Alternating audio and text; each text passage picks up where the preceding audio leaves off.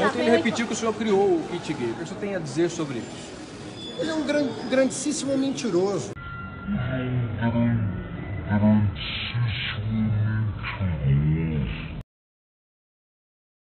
Indignação. Foi com esse sentimento que os brasileiros ouviram as declarações do ex-secretário do Ministério da Educação, exibidas ontem aqui no Jornal da Record. É, durante uma apresentação do kit escolar sobre homossexualismo no Congresso no ano passado, ele fez piada sobre o desenvolvimento do kit que o governo quer entregar nas escolas.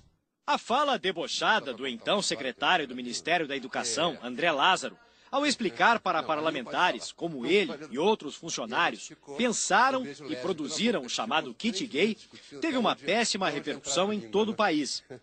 O vídeo foi mostrado ontem no Jornal da Record e imediatamente causou indignação pela maneira desrespeitosa com que um tema tão importante para a formação dos jovens foi tratado pelas autoridades. E só para contar uma história, que acho que vale a pena, né? Uma dificuldade era num, um dos materiais didáticos, um dos filmes, tinha um beijo na boca e a gente ficou um beijo lésbico na boca. A gente ficou três meses discutindo até onde, até onde entrava a língua, né? Por todo o Brasil, a fala do então secretário do Ministério da Educação e o conteúdo do kit escolar sobre homossexualismo foram criticados por pais e alunos.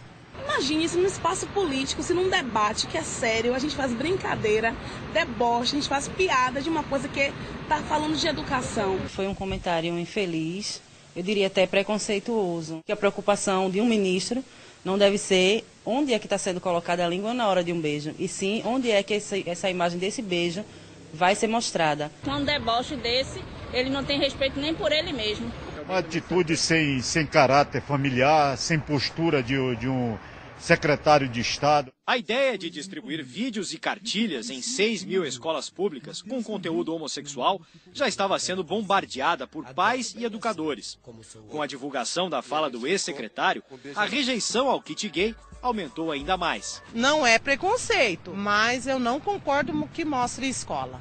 Totalmente fora e eu creio que não está sabendo o que ele está falando o que gera alguma preocupação, até uma divulgação do ministro Haddad na imprensa, dizendo que uma das cartilhas contém uma cena de sexo entre dois homens, o que parece ser bastante inadequado para uma discussão em sala de aula.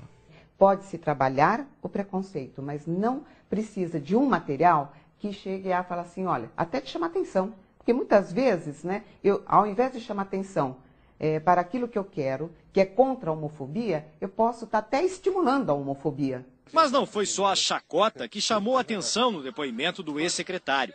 Ele disse para os congressistas e representantes de entidades de apoio à causa homossexual que o Ministério da Educação estava estudando a liberação desse conteúdo para o ensino fundamental. Ou seja, crianças de 7 a 10 anos teriam acesso a esse material. Pode ter um beijo num livro, num, num filme que vai para o ensino fundamental?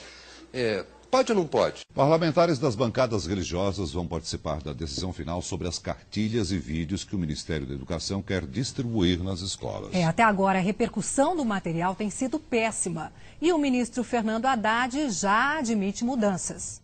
Em Brasília, deputados das bancadas evangélica e católica se reuniram com o ministro da Educação e criticaram o conteúdo do kit contra a homofobia. Segundo o ministro, a cartilha e os filmes que serão distribuídos para mais de 6 mil escolas da rede pública ainda estão sendo analisados. Vai para a comissão de publicações, a comissão vai ouvir os secretários estaduais e municipais. Alguns parlamentares pediram para participar da reunião e participarão. E o, material vai sendo refeito a partir da perspectiva do Ministério da Educação. Mesmo não sendo ainda oficiais, os vídeos estão sendo produzidos e discutidos pelo Ministério e ONGs de defesa dos homossexuais há pelo menos um ano.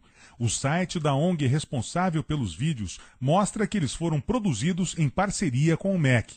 E para este deputado, a justificativa do ministro não convenceu. É papel do Estado ter a formação do aluno do, aspecto, do ponto de vista didático e profissional, não de comportamento. O kit é composto de três vídeos. Um deles fala da descoberta pelos colegas de escola do namoro entre duas meninas.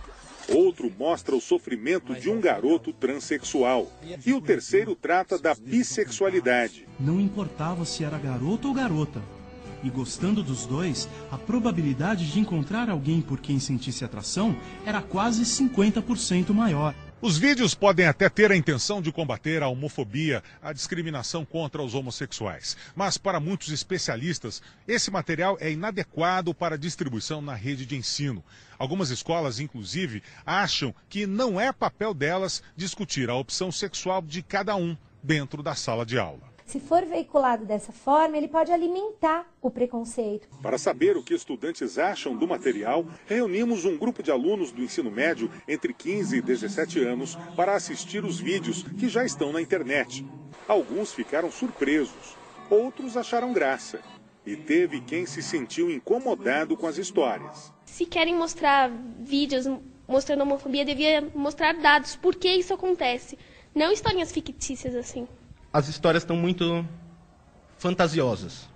Então, se você mostrasse realmente uma história de vida real, mostrasse, ó, eu sofri, eu vivi e agora eu sou o que sou. Este professor não acredita na eficácia dos vídeos contra a homofobia. Penso que a orientação sexual, ela tem espaço no ambiente, no processo educacional, porém, aquilo que diz respeito à intimidade de cada pessoa, talvez haja um ambiente mais propício para que seja discutido, para que seja debatido, que é o ambiente familiar.